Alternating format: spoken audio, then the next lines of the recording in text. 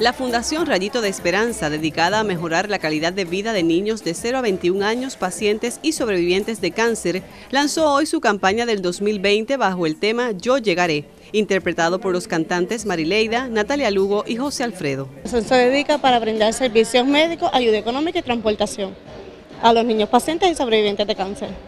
Con este tema, los intérpretes buscan llevar un mensaje de esperanza y fe. Nosotros, por medio de la música, que es lo que nos llena, queremos llevar este mensaje no solamente a los niños de la Fundación Rayito de Esperanza, sino a toda persona que sea soñadora y toda persona que necesite fuerza. Yo creo que Puerto Rico en estos momentos tan críticos lo necesita. De la causa del cáncer siempre ha tocado mi puerta y, me siento súper identificado, me siento bien contento de poder compartir con Natalia y con Marilea, que son panas, son amigas y nos hemos hecho hermanos a través de este tema.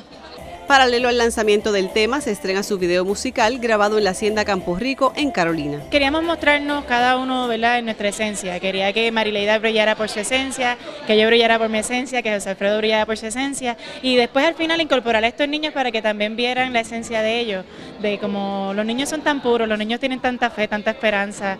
Para apoyar a la fundación puede descargar el tema que ya está disponible en todas las plataformas digitales. Para Noti 6 360, Jorge Negrón y Zoraida Assad Sánchez.